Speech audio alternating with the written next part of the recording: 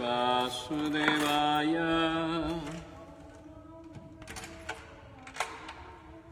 ॐ नमो भगवते वासुदेवाय।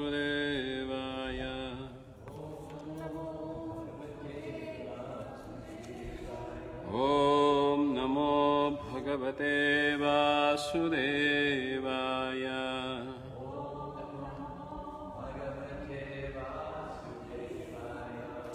नारायणं नमस्कृत्यं नरं चैव नरोत्तमम् देवीं सरस्वतीं व्यासां ततो जयमुदीरयेत्।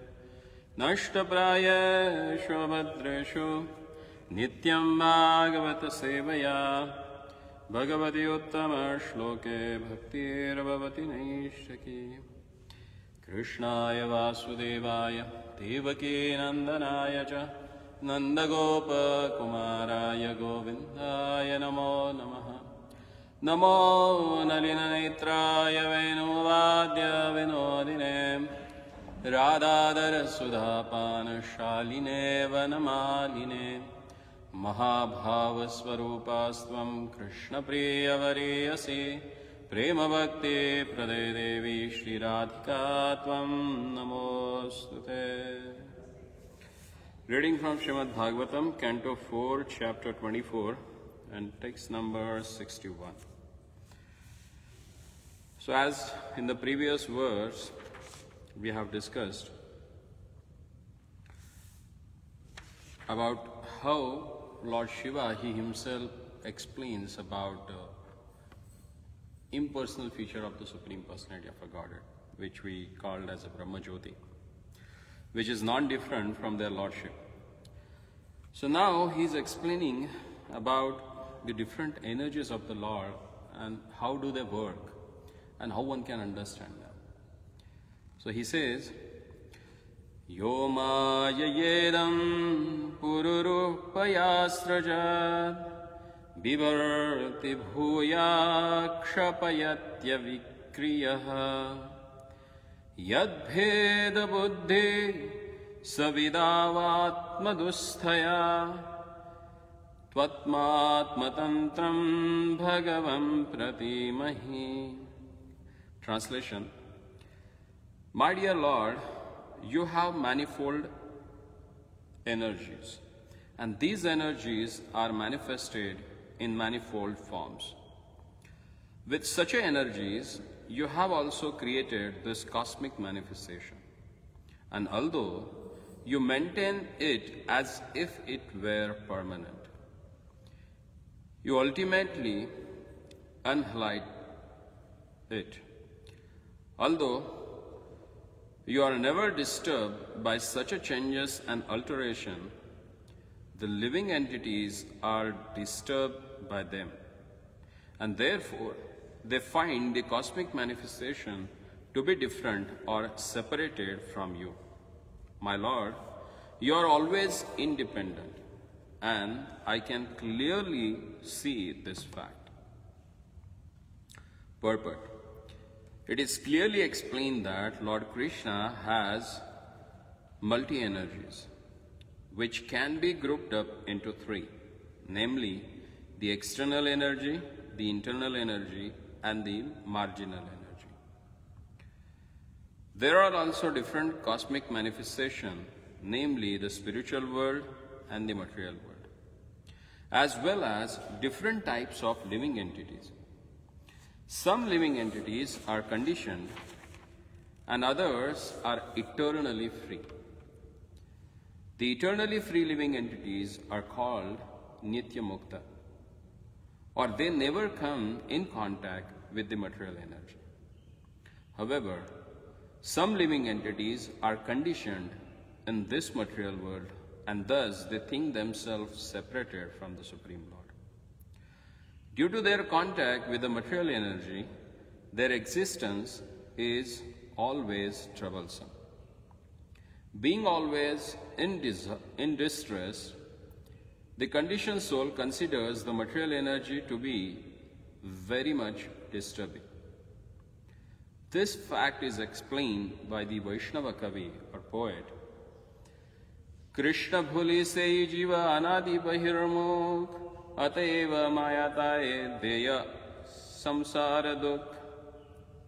When the living entity forgets the Supreme Lord and wants to enjoy himself independently imitating the Supreme Lord, he is captured by the false notion that he is the enjoyer and is separated from the Supreme Lord.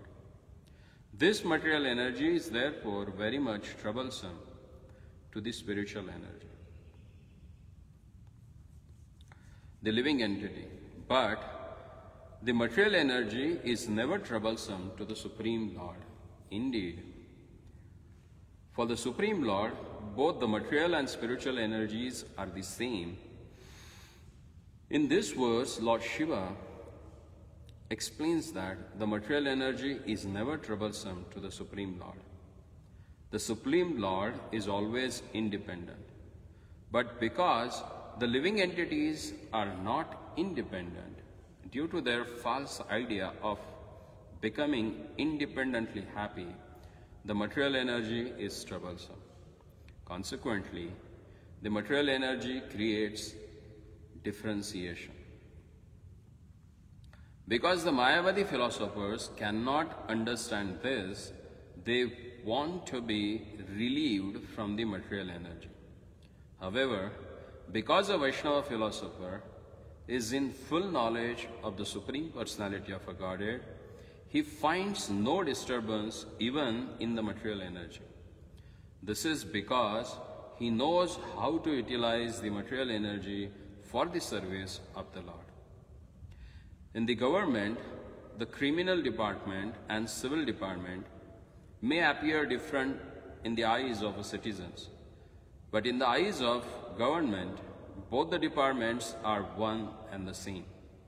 The criminal department is troublesome for the criminal, but not for the obedient citizens.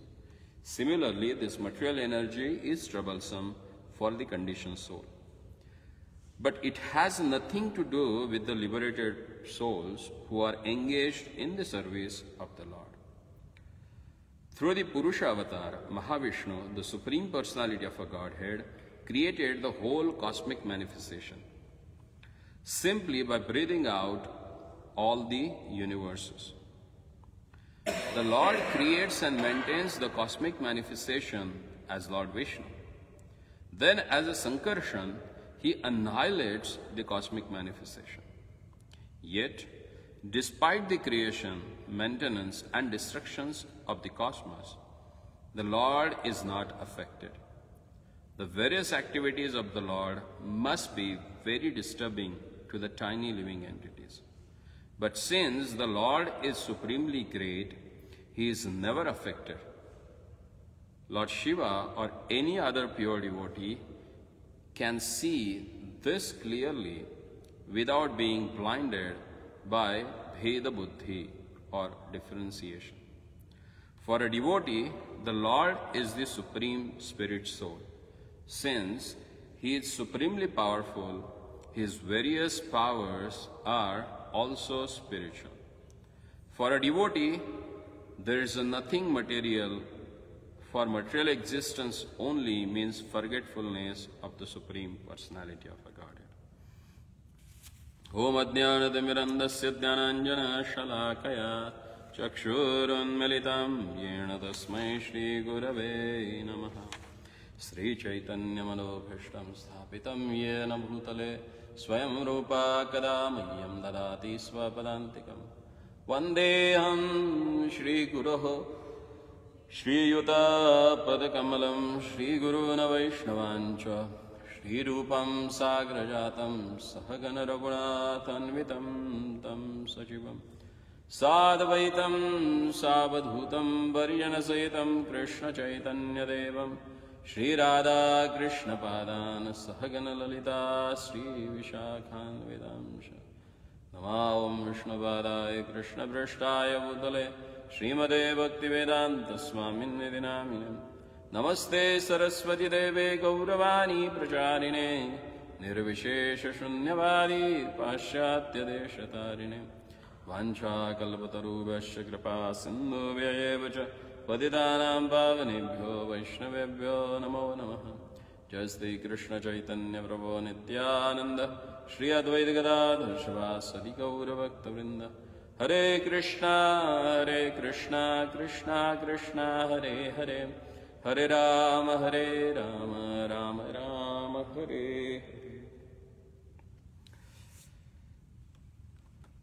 Actually, these prayers which are offered by Lord Shiva, they are most wonderful to understand the philosophy of Srimad Bhagavatam. Because the Paribhasha Sutra of Srimad Bhagavatam is Krishnastu Bhagavan Swayam.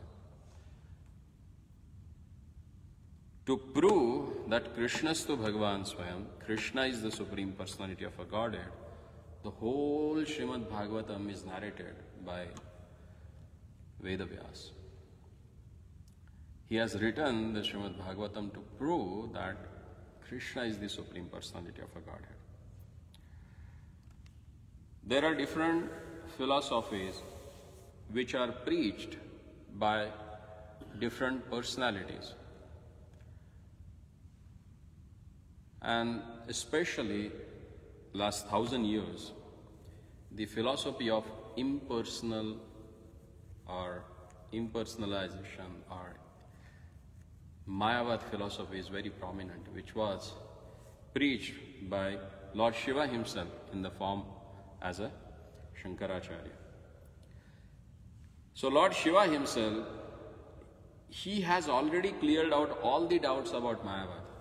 Generally Mayavad is this is that Brahma Satya and Jagat Mithya. That absolute truth is only truth or he is absolute and everything else is false or it does not exist actually.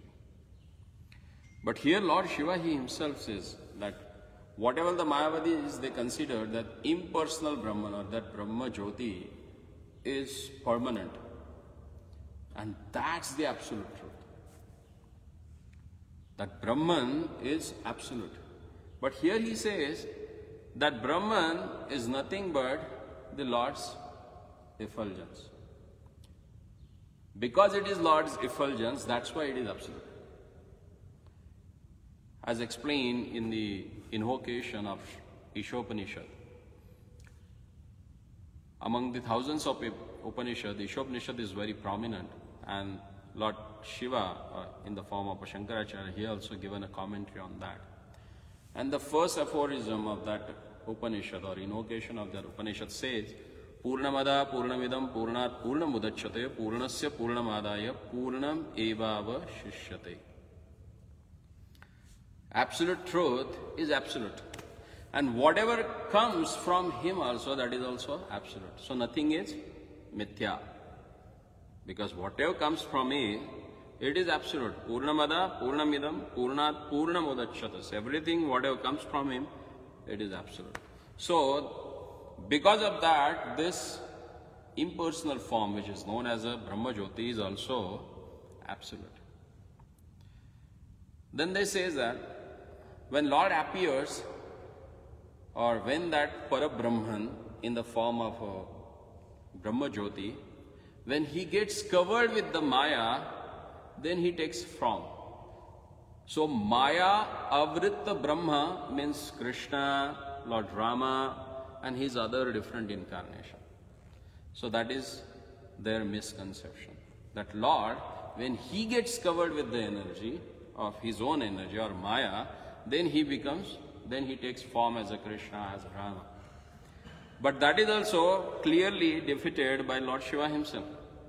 He here says here, Yo Maya Yedam Pururu Upayasrajat बिभर्ति भूया क्षपत्यात विक्रय यद भेद बुद्धि सविदा आत्मदुस्थया त्वत आत्मतंत्र भगवन प्रति मही He says, Oh my Lord, only that person can understand you who knows that you have multi energies. And through that energies, the whole cosmic manifestation runs. And he said, Kshapatya, it, Kshapayatya. It comes from you. It's not that you get covered with that. Only who has a Bheda Buddhi,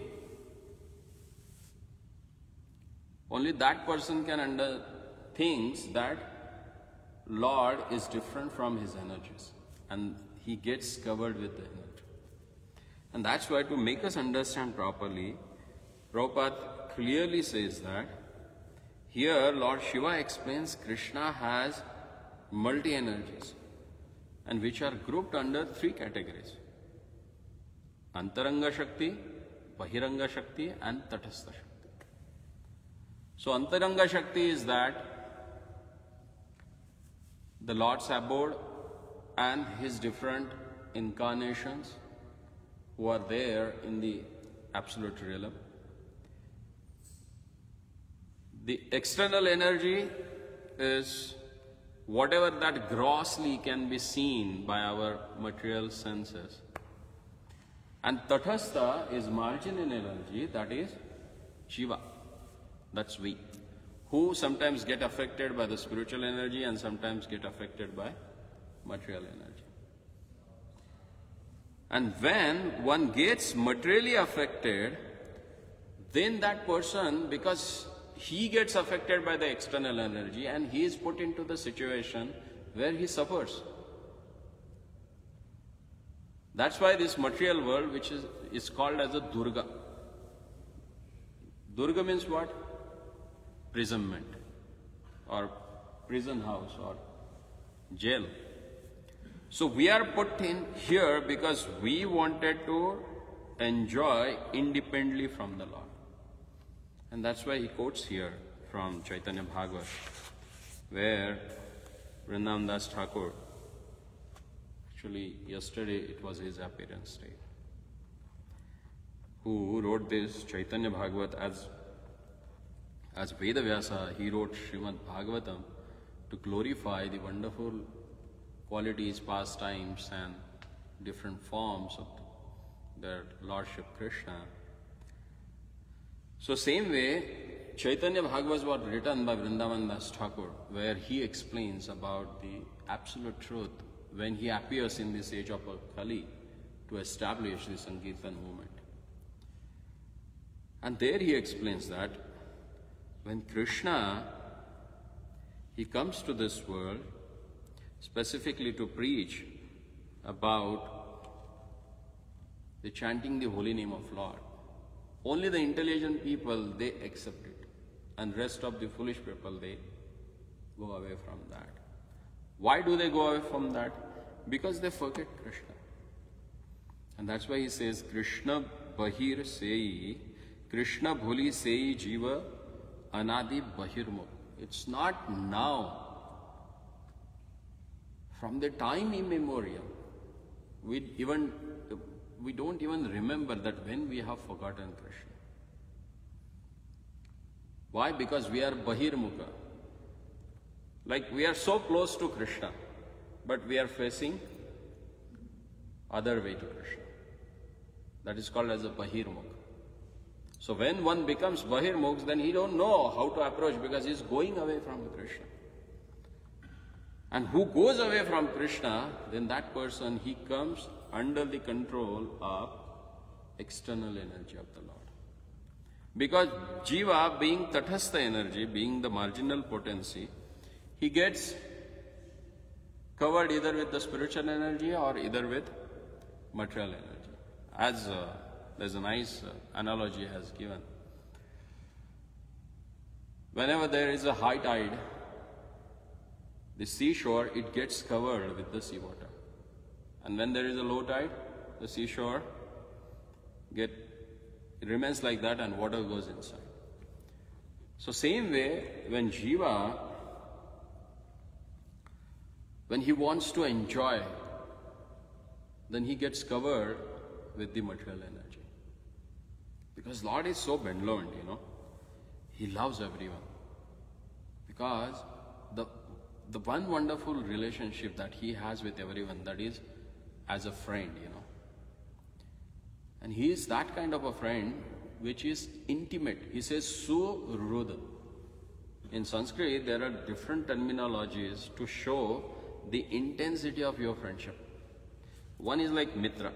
Mitra means, yeah, you know him because he stays somewhere around your house, you know, in your locality, or maybe you know him because of some vicinity due to the professional atmosphere, or maybe you studied in one school, so you call him as a Mitra.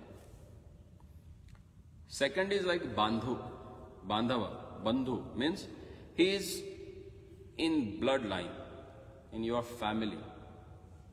So in family also you have some friend, you know. So that is called as a Bandhava. Then Sakha.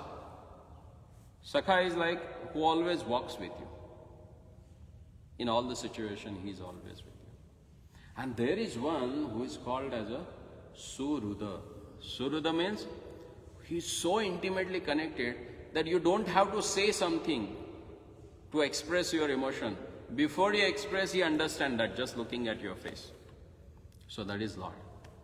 And he is not with one person, he is like that, but he is with everyone, you know. Then question comes in mind, if he is like that, then why we have to pray? If he knows everything, then why he don't save us? There's a nice verse in Ramayana. It says that Sarvajna api deveshu, even though Lord knows everything, as he says in Bhagavad Gita, that he knows the past, he knows the present, and he knows the future.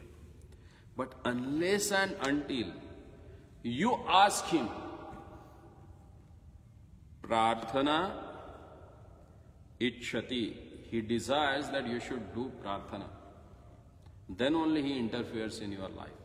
Otherwise, he never touches anyone. And that's why, if we see all our acharyas, the pattern, the life pattern they have given us, since morning to going to bedtime, we do only prayers to the Lord.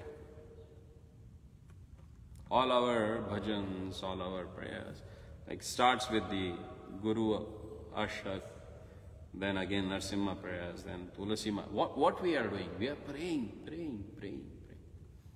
Unless and until you pray for that, He never interferes in your life. And that's why it is said that only devotion can nullify all your previous karma. Karmani nirdahati kintu cha bhakti bhaja. All your karma and its results, they get burnt away only by performing devotional service. And devotional service starts with the Shravana. And what do we Shravan, do Shravan? What we hear about?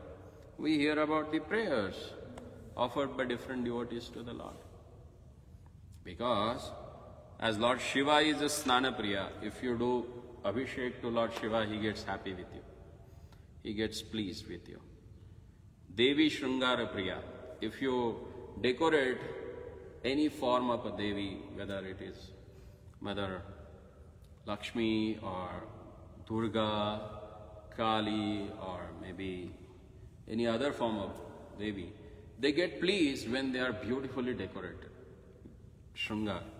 And Vishnu Stuti Priya. And Lord gets pleased with you when you offer just prayers to Him. So when we offer prayers, then He looks at you and then He interferes in your life. And once when His interference comes, then Maya goes away. Because He is Mayapati. He is the one, uh, as Brahmaji says, that Mayai yasya jagadanda shatani sute traigunyatad vishaya veda vitayaman sattvavalambhi parasattva vishuddha sattva govindamadi purusha.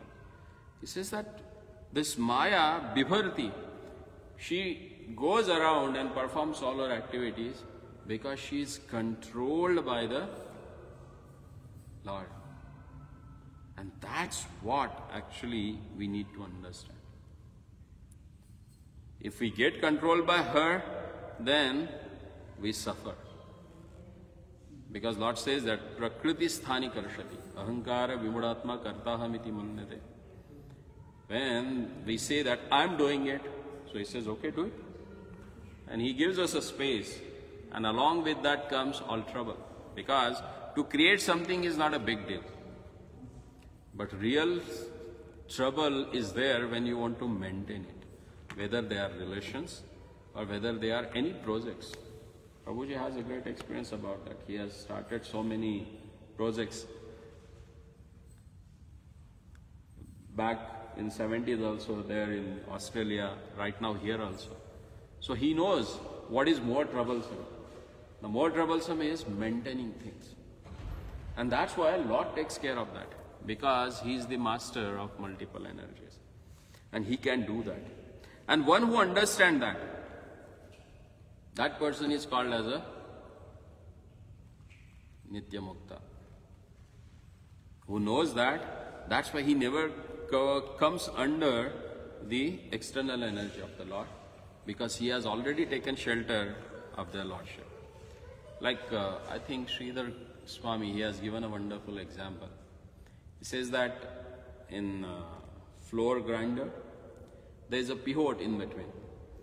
And from there, you drop grains, and the grains which are closer to that pivot,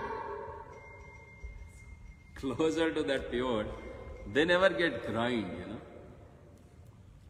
because they are near the pivot. So the whole material energy it moves around the Lord's lotus feet. So whoever has taken shelter at the Lord's lotus feet, he never get crushed away by the grinder. So same way, who has taken shelter at the lotus feet of the Lord, that person never gets grinded by this material energy. And then further he explains that how this material universe, which is the manifestation of the material energy of the Lord, it is constituted of different uh, elements that he explains in the next verse. So that we'll discuss on next Saturday. Hare Krishna. Shrimad ग्रंथराज Bhagavatam की जय श्रील प्रभुपाद की